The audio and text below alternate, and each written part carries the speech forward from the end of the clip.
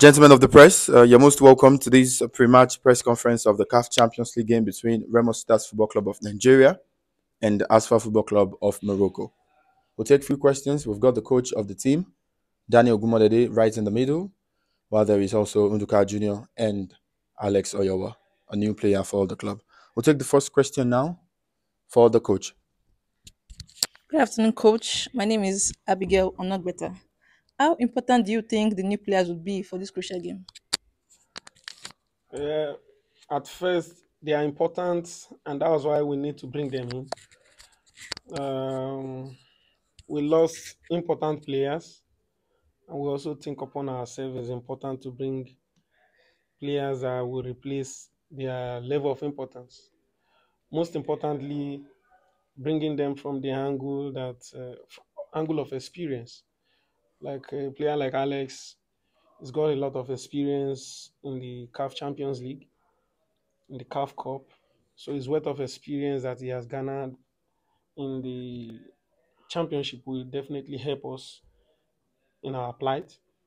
And uh, player like Ifeanyi and Emena also with a lot of experience in the competition and uh, other few of them. So for me, I think they are extremely important, and uh, that is why they are here. Good afternoon, coach. My name is Adimola Oluwaseyi, and my question is What's the thinking when it comes to the team selection for the match against ASFAR FC? Thinking. Yeah, the mindset you have for the uh, the team selection for the match against ASFAR FC. The, the only mindset is to win.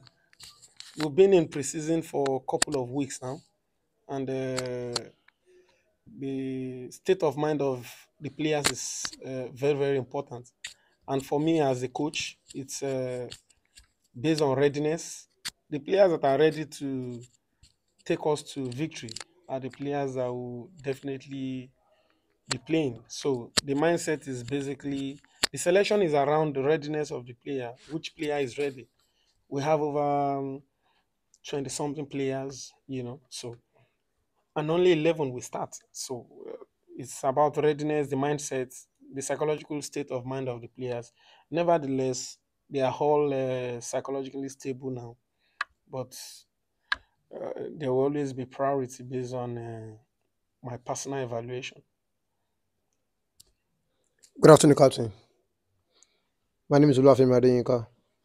How do you handle the pressure of representing your club in such a big stage, and how do you ensure the team stay focused and unite?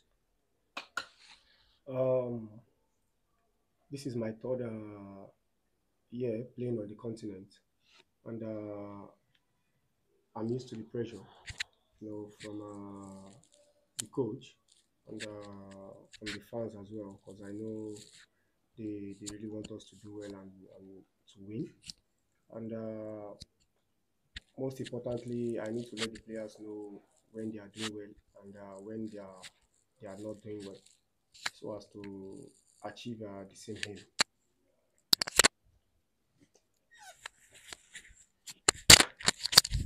All right, thank you, Captain. Uh, the next question will be for Alex Oyowah. This is not your first time playing on the continent. In fact, you've been able to help your former club to a quarterfinal finish last time out in the Confederation Cup. This time is the CAF Champions League.